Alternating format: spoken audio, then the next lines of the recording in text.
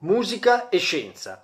Può esserci veramente un legame tra queste due realtà apparentemente così distanti fra loro? La risposta è sì e ne possiamo vedere qualcuna insieme. La prima band dalla quale vorrei partire sono i Cure. I Cure sono Robert Smith, 1959 Blackpool. Questo signore, questo ragazzo, mette in piedi una band nel 1976, è un anno particolarmente caldo per l'Inghilterra e per la musica in generale. E in particolare è, è il periodo del, del, punk e poi subito dopo del post-punk, quindi band come Sex Pistols e Clash da una parte e Sioux and the Bench e Joy Division dall'altra. E in questo calderone ci sono appunto anche i Cure di Robert Smith. Esordiscono appunto nel 1976 e dopo 20 anni esatti, nel 1996, danno alle stampe un album intitolato Wild Mood Swings. 1996 è un album eh, certamente meno significativo degli album di un tempo. Ormai la parabola artistica dei Cure parrebbe essere un po' in discesa però in realtà per chi si occupa di scienza c'è qualcosa di significativo ed è una canzone, una canzone che si intitola Jupiter Crash.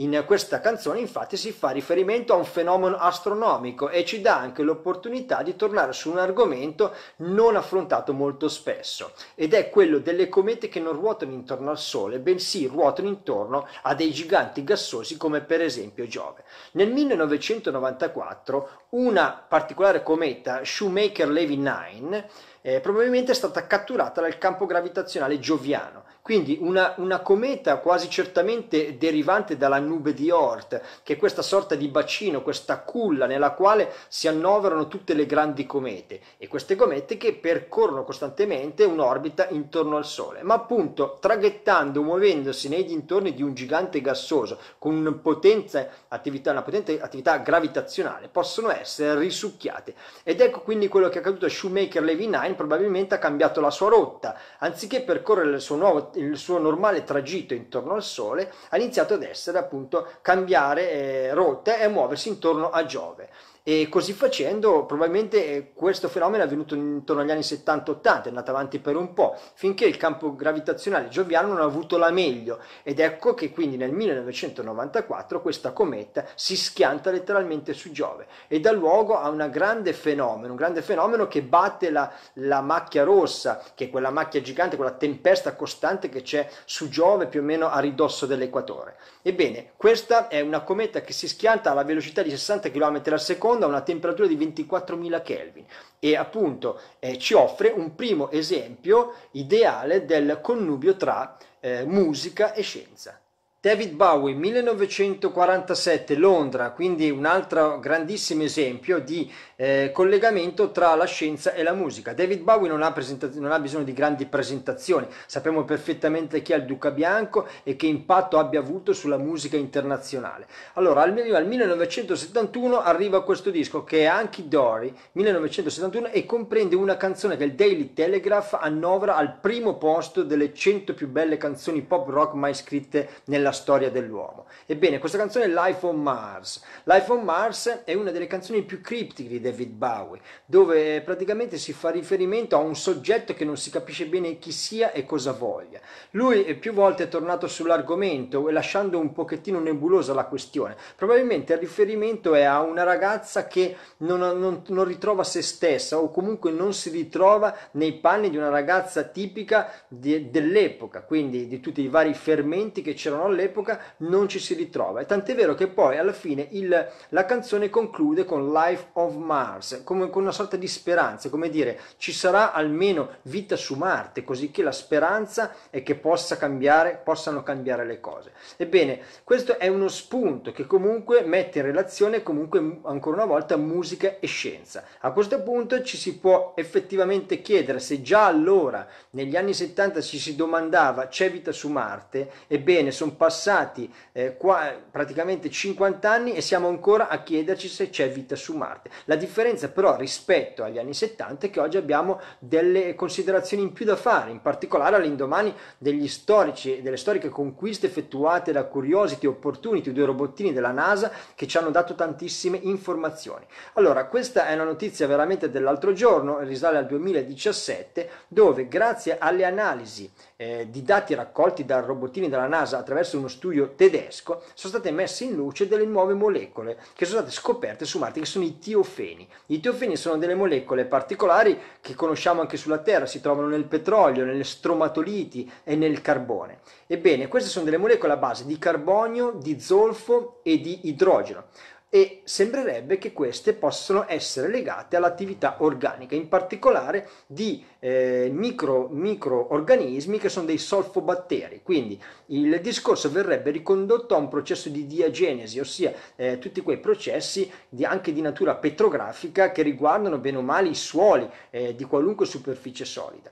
Eh, probabilmente questo processo di diagenesi porterebbe alla formazione di H2S, ovvero acido solfidrico, che potrebbe reagire con molecole organiche per dare origine appunto al tiofene. Quindi possiamo considerare il tiofene come una sorta di biomarcatore e dunque, grazie comunque riascoltando David Bowie con Live on Mars, oggi abbiamo una certezza in più per credere che probabilmente una forma di vita eh, batterica primordiale su Marte possa effettivamente esserci. E poi abbiamo Kate Bush che ci offre un altro bel esempio di relazione tra la musica e la scienza. Che Kate Bush è del 1958 e nasce nei dintorni di Londra, a Welling, nel 1978 è il suo debutto, il suo debutto che avviene grazie all'appoggio di un particolare carismatico signore che è niente meno che David Gilmour. David Gilmour ormai è diventata una delle figure più significative dei Pink Floyd dopo l'abbandono definitivo da parte di Sid Barrett per tutti i suoi problemi.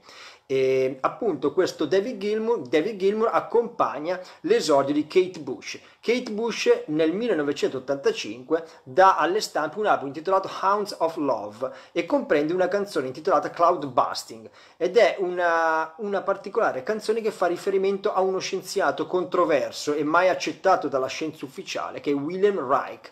William Reich era niente meno che un discepolo di Freud dal quale poi dopo si è staccato progressivamente e aveva delle teorie piuttosto contraddittorie e davvero difficili da, da accettare. Quindi lui mischiava tranquillamente la psichiatria con la sessualità, il marxismo e la psicanalisi, insomma faceva un po', metteva un po' tutto insieme e naturalmente in questo eh, grande darsi da fare non si è dimenticato anche di un'ipotesi, cioè di poter inventare qualcosa che potesse creare la pioggia dal nulla e così riuscire a risolvere uno delle più grandi problematiche che riguarda tutto il mondo ed è la crisi legata alla siccità, la crisi idrica. Secondo uh, Wilhelm Reich esiste una particolare particella che permea tutto l'universo, che permea le specie viventi e la natura che ci circonda, si chiama orgone. Da orgone poi deriva il concetto di energia organica. Quindi attraverso l'applicazione di un suo marchingegno dotato di tubi di rame, eh, Wilhelm Reich tenta tenta di poter appunto creare dal nulla le nuvole.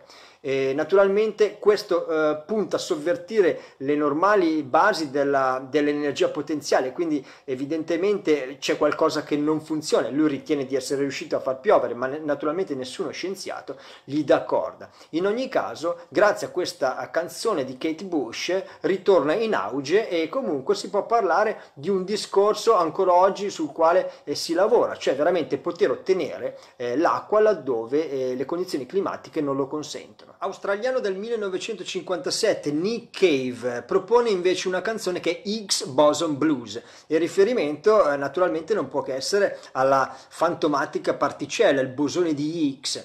Allora siamo nel 2013 e Nick Cave es- dalle stampe questo disco intitolato Push the Sky Away. Appunto all'interno c'è questa canzone che è, analogamente a quel che dicevamo prima di Life on Mars di David Bowie, anche in questo caso la canzone è piuttosto criptica. Il soggetto parrebbe essere lo stesso Nick Cave che dice sto guidando verso Ginevra e sappiamo che a Ginevra c'è il CERN, il CERN, l'acceleratore di particelle entro il quale si conducono tutta una serie di esperimenti per identificare l'infinitamente piccolo e dove appunto è stato identificato identificato nel 2012 il bosone di Higgs.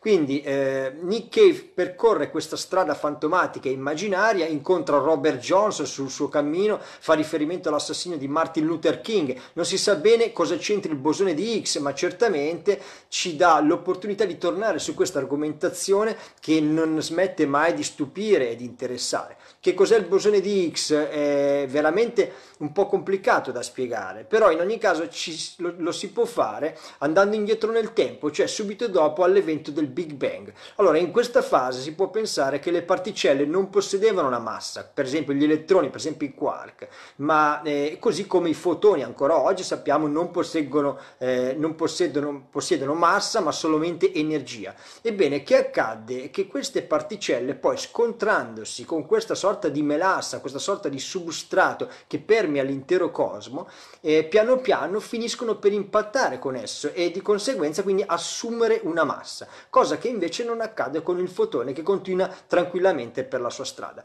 E dunque, eh, negli acceleratori di particelle si è proprio indagato questo mistero, quindi eccitando la materia si riesce a ottenere questo bosone di Higgs che poi si è visto è in grado di decadere in fotoni oppure in elettroni e quindi giustifica il, la grande scoperta avvenuta eh, decenni fa da Peter Higgs che poi ha vinto anche il premio Nobel e che ci permette effettivamente di osservare da vicino l'infinitamente piccolo questa particella fantomatica che sarebbe indispensabile indispensabile a tenere insieme tutti i cocci dell'universo e che probabilmente eh, sarà necessaria per poi descrivere, quando mai si riuscirà a descrivere completamente, tutte le particelle che convergono per costituire il cosmo che, nel quale noi siamo calati. Siamo così giunti all'ultimo esempio che ci permette di mettere in relazione la musica con la scienza. In questo caso è a un duo, che è un duo newyorkese, quindi di New York statunitense, che sono They Might Be Giants. Sono questo duo, eh, due ragazzi, John Linnell e John Flansburgh, che si incontrano all'università, siamo negli anni Ottanta. Danno alle stampe il loro primo disco omonimo, They Might Be Giants, nel 1986 e diventano in fretta un punto di riferimento per i vari college statunitensi e per le varie università dove vengono ascoltati con grande frequenza. Il loro alternative rock mischiato di un pop particolarmente orecchiabile fa presto breccia nei ragazzi degli anni Ottanta. loro si occupano spesso di scienza e addirittura nel 2009 danno alle stampe, esordiscono con un album intitolato Here Comes the Science ed è un album incentrato interamente sulla scienza e all'interno di questo album vorrei citare almeno una canzone che è I'm Paleontologist e fa riferimento quindi a una serie di animali del passato e anche alla possibilità di eh, influenzare le nuove generazioni spingendole appunto a diventare paleontologi. Non è un caso che la canzone sia stata scritta dal bassista dei The Mighty Giants e nella canzone partecipano anche i due figli del bassista. E uno degli animali che viene citato è uno degli animali più interessanti della paleontologia che è L'Archaeopteryx ci interessa in particolar modo perché risulta essere uno straordinario anello di congiunzione tra il mondo dei rettili, il mondo rettiliano e quello degli uccelli. Quindi quando eh, possiamo indicare eh, a livello cronologico la situazione, siamo nel Giurassico, quindi 150-148 milioni di anni fa eh, viene identificato appunto, eh, viveva appunto questo animale che è l'Archaeopteryx, che presenta delle caratteristiche spiccatamente vicine al mondo rettiliano, ma d'altra parte inizia ad assumere anche tutta una serie di sembianze che ricordano effettivamente gli uccelli. Quindi eh, sicuramente di rettiliano mantengono la presenza dei denti all'interno del becco, sappiamo che oggi gli uccelli non possiedono denti, quindi un aspetto tipico dei dinosauri, e anche una lunga coda che probabilmente serviva per dargli meglio l'equilibrio e certamente esattamente ricorda l'anatomia e la fisiologia dei grandi, dei giganti dinosauri. Però dall'altra parte vediamo che inizia ad assumere delle sembianze differenti perché inizia ad avere delle ossa più leggere, quindi ossa più leggere che evidentemente facilitano il volo, eh, anche la scatola cranica risulta essere più ridimensionata e, e, poi soprattutto possiedono le penne, le piume, quindi delle strutture che servono a dare calore e soprattutto servono a volare.